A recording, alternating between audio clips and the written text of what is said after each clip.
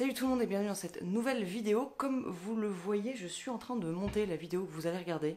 Oui, c'est un peu bizarre dit comme ça parce qu'en fait, tout simplement, entre aujourd'hui et quand j'ai tourné la vidéo que vous allez regarder juste ensuite, on a passé le cap des 1000 abonnés. Donc déjà, tout d'abord, un grand merci à vous tous. C'est vraiment génial. On commence à avoir une communauté vraiment super, super sympa. Et je suis super contente. Surtout que ça fait un an que je suis sur YouTube. Donc les 1000 abonnés pour les un an, c'est absolument génial. Et je vous fais ce petit début de vidéo rapidement avant que je vous laisse avec la mois du passé, euh, pour juste vous dire que je vais faire une vidéo spéciale pour du coup les 1000 abonnés avec une FAQ. Donc si vous avez la moindre question sur tous les sujets que vous voulez, n'hésitez pas à me les poser en commentaire juste en dessous. Je les noterai pour la vidéo spéciale des 1000 abonnés que du coup euh, je vais sûrement tourner la semaine prochaine ou dans deux semaines en fonction du nombre de questions que j'ai. Et si vous n'avez pas d'idée là tout de suite, n'hésitez pas également à me poser des questions sur Instagram, il n'y a aucun problème. Voilà, je vous laisse tout de suite avec la Caro du passé euh, qui va vous présenter un peu le contenu de son sac. Et je vous remercie encore pour les 1000 abonnés. À très vite. Salut tout le monde et bienvenue dans cette nouvelle vidéo avec une configuration un petit peu euh, différente de d'habitude. Vous l'avez vu dans le titre, on part sur un What's in my camera bag 2021. Notez-moi dans les commentaires pour ce merveilleux accent. Euh, voilà, en fait, je me suis dit que ça pouvait être pas mal parce qu'il y avait quelques petites nouveautés en 2021, des choses que j'ai achetées en 2021, des choses que j'ai achetées fin 2020, qui se sont rajoutées un peu à mon setup euh, de caméra, tout ça. Donc je me suis dit que ça pouvait être quand même intéressant de faire une petite mise à jour. Il y a quelques petites choses que je vais pas pouvoir vous montrer. Je vous mettrai des images d'illustration parce que bah, c'est des choses que j'utilise actuellement. Donc c'est un peu compliqué de vous les montrer en direct. Alors on va commencer tout de suite avec le sac déjà. Je vous l'ai déjà présenté. C'est donc le Wandered Preveux 21 litres. Euh, qui est un super sac. Si vous ne connaissez pas ou si vous voulez en savoir plus, je vous mets la fiche ici ou là euh, de la vidéo, de la review que j'ai fait de ce sac qui était euh, vraiment euh, complète. C'est un sac qui est hyper pratique, qui a plein de petites poches que vous allez du coup découvrir au fur et à mesure de la vidéo parce qu'on va, en ouvrir pas mal quand même, hein. c'est le but de voir ce qu'il y a dans le sac quoi. donc on commence tout de suite avec les choses qui y a à l'extérieur de ce sac, on va rentrer au fur et à mesure à l'intérieur. Alors tout d'abord à l'extérieur du sac, il y a sur la tranche que je mets toujours mon stabilisateur, donc qui n'est autre que le Ronin SC2. La dernière vidéo en parle, j'ai fait deux vidéos dessus. Si ça vous intéresse, pareil, je vous mets les fiches, je vous laisse aller regarder. Donc en fait, je le mets là parce que euh, pas la place le mettre à l'intérieur et que vu que je l'utilise quand même euh, assez souvent, euh, bah comme ça au moins il est tout de suite là, il est accroché. j'ai loqué tous les axes pour qu'ils se mettent bien. Il y a euh, le plateau rapide que je laisse accrocher, qui dépasse un peu, mais j'y fais, je fais assez attention, comme ça j'ai pas besoin de, de euh, le restabiliser ou de le rééquilibrer à chaque fois. Et euh, le petit trépied qui va avec. Et dans cette petite poche-ci, qui est sur le côté, enfin sur le derrière en fait, hop, j'ai qu'à le sortir et le mettre directement sur le stabilisateur. donc c'est assez pratique j'ai tout à portée de main. Donc ça, c'était pour le stabilisateur. Donc ça, c'est une nouveauté de fin 2020 euh, que j'ai eu. Du coup, j'en suis ravie. C'est mon premier stabilisateur. J'ai déjà fait deux vidéos dessus. Vous connaissez mon avis sur le sujet. Il est génial, c'est hyper pratique. J'utilise pas tout le temps parce que j'aime beaucoup tourner à main levée. Mais pour certains plans, c'est quand même assez pratique. Dans cette petite poche, euh, encore une fois, je vais la mettre là pour que vous la voyez mieux. Dans cette petite poche, il y a quelque chose que j'utilise assez régulièrement. Euh, qui est un petit pochon avec euh, les accessoires de nettoyage. Toujours avoir ça sur soi. Donc il y a un petit chiffon, tout simplement pour l'objectif. Là, il y a un petit pinceau, etc. pour enlever, enlever ce qu'il y a. Donc voilà pour ça. Et bien sûr, hyper pratique aussi, la petite poire pour passer, à enlever les petites poussières sur l'objectif ou euh, éventuellement euh, sur le capteur euh, très rapidement parce qu'il ne faut pas laisser trop son capteur à l'air libre. Donc ça c'est toujours hyper pratique, il faut toujours l'avoir avec soi parce qu'on ne sait jamais ce qui peut arriver et il y a toujours peut-être des petites choses qui peuvent se poser sur votre objectif. Donc ça c'est hyper important. Dans cette poche là j'ai rien d'autre, alors je mets aussi mes papiers, là je les ai pas mis, mais mon portefeuille etc. Ensuite on va passer sur la poche du dessus. Si vous avez déjà vu la vidéo du sac, vous savez qu'il y a un compartiment ici euh, photo euh, avec euh, un compartiment photo que je vous montrerai après. Et là, en fait, il y a un autre compartiment dont on peut accéder par le derrière ou par le dessus pour mettre du coup autre chose, des vêtements ou d'autres petites babioles qui rentrent pas forcément dans le cube photo. Donc là, c'est ce que je vais vous montrer tout de suite, ce que j'ai mis.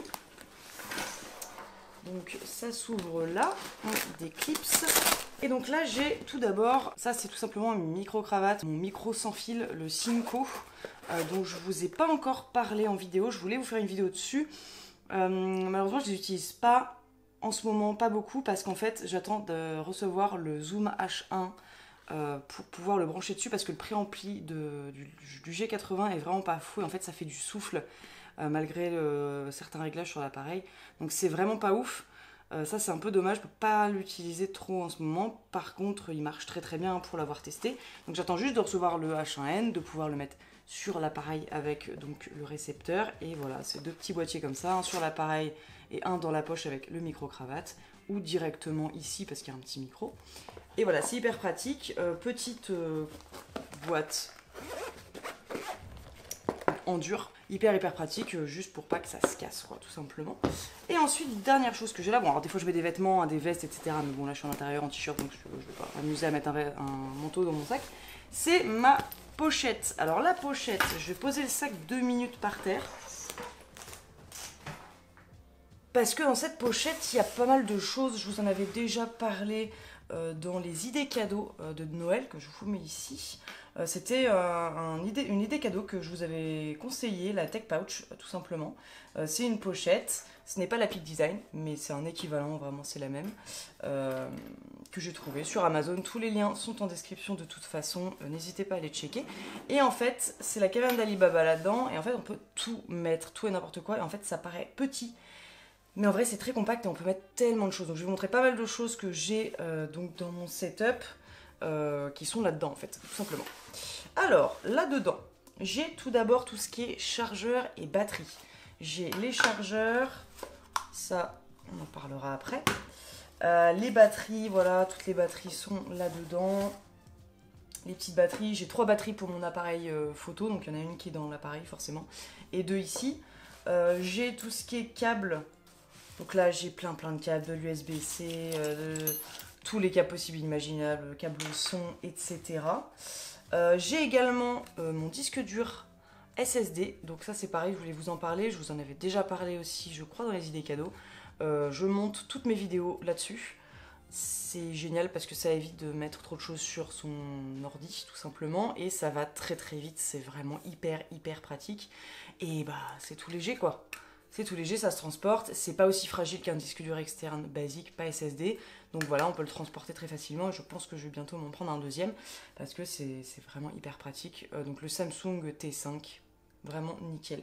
Très très bon investissement. J'ai euh, des adaptateurs USB, USB-C, une clé USB et au cas où, bien sûr, toujours des petites pièces parce que euh, j'ai encore une ou deux petites plateformes où il faut utiliser une pièce en fait pour mettre la plateforme en dessous de l'appareil. Donc voilà, toujours des pièces sur soi. Ensuite, j'ai euh, ça, je vais pas vous en parler parce que c'est la petite surprise. Si vous ne me suivez pas sur Instagram, vous n'êtes pas au courant de mon dernier achat 2021, donc je ne vais pas vous parler de ça. Euh, là, ça, c'est mon filtre ND. Toujours avoir un filtre ND sur soi. Euh, voilà, toujours quelques petits câbles. Il y a plein de petites pochettes où je mets des batteries quand elles sont pleines, quand elles sont vides. Et enfin, mes cartes SD. Donc là, petite pochette avec mes cartes SD. On peut mettre les cartes SD, les cartes micro SD, etc. Voilà, ça peut aller sous l'eau, etc. Ne me plongez pas sous l'eau quand même, au cas où. Mais voilà, euh, donc là-dedans, je mets tout. Euh, il y a peut-être même des choses que j'ai pas mises, qui traînent un peu partout. Mais voilà, tous les petits accessoires comme ça, on sait pas trop où mettre.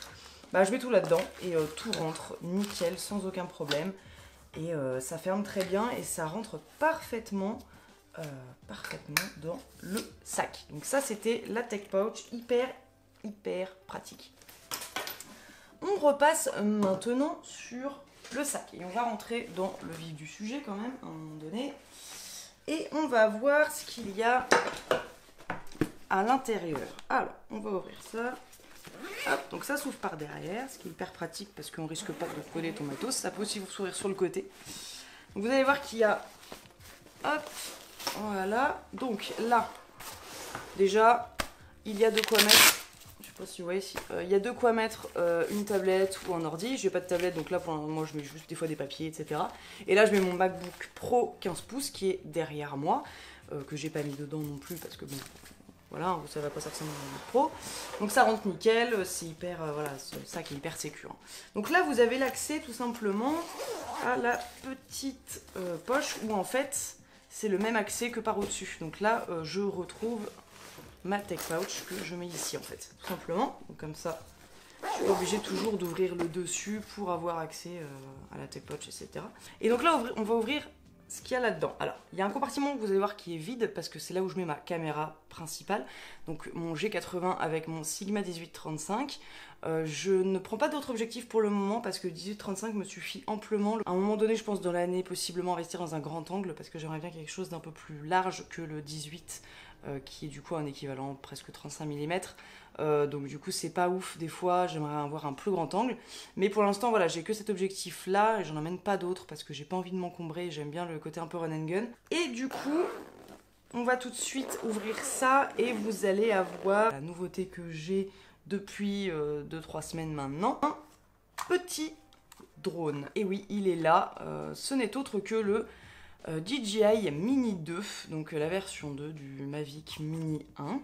Euh, je vais vous faire une vidéo dessus avec mon retour, etc. C'est mon premier drone, c'est la première fois que je conduis un drone de ma vie. c'est un bonheur, c'est hyper facile à contrôler, c'est un kiff, c'est génial, on fait des photos super, des vidéos très très bonnes en 4K, c'est vraiment hyper quali. Euh, voilà, j'ai déjà volé quelques fois avec, je vous mets quelques petites photos par-ci par-là. Euh, donc voilà, ça c'est vraiment nickel, j'en suis super super contente. Pratique toujours ça, ce petit truc là justement pour bloquer les hélices, pour éviter que les hélices se baladent. Ça c'est hyper pratique. Et euh, du coup, bah voilà quoi, il se déplie, il est hyper petit, donc dans le sac il prend vraiment pas de place. Et, voilà quoi, je sais pas quoi vous dire parce que je vais faire une vidéo dessus, donc j'ai pas envie de trop en dire. Mais voilà, petite carte SD qui est de toute façon déjà dedans. Euh, il y a une batterie dedans. Et dans la TechPouch que je vous ai pas montré tout à l'heure, j'ai bien sûr le bloc avec les deux batteries dedans, plus celle qui est dans le Mavic. Donc ça c'est pareil dans la TechPouch. Donc voilà, euh, ça c'est la nouveauté. Je vous en parle pas trop longtemps parce que je vais quand même vous faire une petite vidéo dessus, hein. assez rapide parce qu'il y a déjà des milliards de vidéos sur le Mini 2 sur internet, sur YouTube. Mais je vais vous donner mon retour d'expérience en tant que débutante en drone. Est-ce que voilà, j'en suis satisfaite, etc. Même si je viens de vous spoiler complètement euh, la prochaine vidéo en vous disant que j'étais très contente. Euh, voilà, c'est un peu un échec de ma part, mais bon, je peux encore couper ça au montage, on verra. Donc voilà, super contente. Donc Mini 2 et donc bien sûr également la télécommande qui est approximativement un peu plus grande que le drone, ce qui est assez drôle. Donc euh, voilà, télécommande, en rangeant toujours les joysticks bien sûr ici pour pouvoir euh, les mettre là. Euh, donc ça c'est pratique aussi, ça se range assez facilement. Ensuite, donc chose qui, qui n'est pas là, forcément, c'est mon micro, parce qu'il est là-haut, il est en train d'enregistrer le son. Donc je vous ai mis la petite bonnette ici en illustration, mais normalement je le cale ici euh, pour pas qu'il bouge avec la bonnette, il n'y a pas de souci. C'est le Rode Vidéo Micro, je vous en ai déjà parlé, il est hyper petit, hyper compact. Et euh, bah, du coup, il se range un peu où on veut. Donc, toujours avec sa petite bonnette pour quand il y a un petit peu de vent. Ensuite, petits accessoires euh, rapidement. la lanière Peak Design, parce que j'ai les attaches sur mon appareil. j'ai une cage autour de mon appareil important. Donc j'ai mis les petites lanières sur la cage.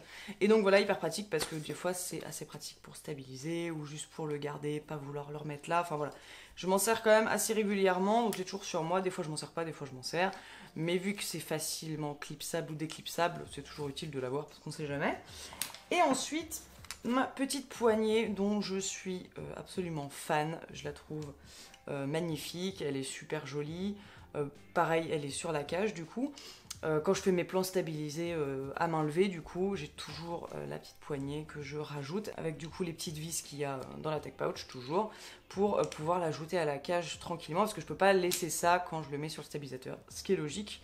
Mais en règle générale, je mets plus souvent ça que le stab parce que le stabilisateur, j'utilise vraiment pour des plans particuliers. Donc en général, je fais beaucoup de plans à main levée. C'est pareil, je crois que je vous en avais déjà parlé. Je crois que tout ce, que, tout ce dont je vous ai parlé là, je vous en avais déjà parlé en vidéo, sauf peut-être Sauf du coup le Mavic forcément, le Mini 2 et du coup les micros euh, parce que du coup euh, je les ai pas encore euh, beaucoup beaucoup utilisés vu que j'ai pas encore d'enregistreur, mais ça ne saurait tarder dès que j'ai l'enregistreur. Je vous en parle bien sûr en vidéo. Donc voilà, et bien écoutez, je crois que je crois que j'ai fait le tour. Il y a peut-être des choses que j'ai oubliées. C'est pareil, il y a des choses que je vais bientôt recevoir. Par exemple, j'ai pas encore mes filtres ND pour le Mini 2, mais ça, c'est en commande, ça va très vite arriver. Parce que c'est pareil, enfin, c'est très compliqué de filmer en manuel sans filtre ND, c'est pas possible en vidéo. Si on veut garder le shutter speed à une bonne vitesse, etc., c'est juste pas possible. Donc ça, c'est pareil, c'est commandé et ça va arriver incessamment sous peu. Donc c'est pareil, c'est des choses que je mettrai sûrement dans la tech pouch, hein, c'est évident. Du coup, trépied, il est en face de moi, euh, mon appareil est dessus et je l'emmène très rarement quand je pars. Euh, quand je pars, après, euh, quand je sais que je vais en avoir besoin, je l'emmène. Mais voilà, c'est pas un truc que je me trimballe parce que je suis pas trop trépied. Et pareil, lumière, un petit peu compliqué de vous en parler. Puis de toute façon, je l'ai pas dans mon sac. Et vu que c'est censé être un What's in my camera bag, euh, bah, ça sert pas à grand chose que je vous en parle quoi. Voilà. si vous avez des questions sur la moindre chose qui est dans cette vidéo, Niveau matos, n'hésitez pas à me les poser. Si j'ai la réponse, je vous répondrai avec grand plaisir. Tous les liens de tous ces produits sont en description, donc n'hésitez pas à aller faire un tour si c'est des produits qui vous intéressent. Euh, sur ce, n'hésitez pas non plus à vous abonner pour voir la suite et euh, le petit pouce bleu, hein, parce que ça fait toujours plaisir. Et puis voilà, je crois qu'on a fait le tour. Du coup, bah, je vous dis euh, à très bientôt dans le studio de Caro. Salut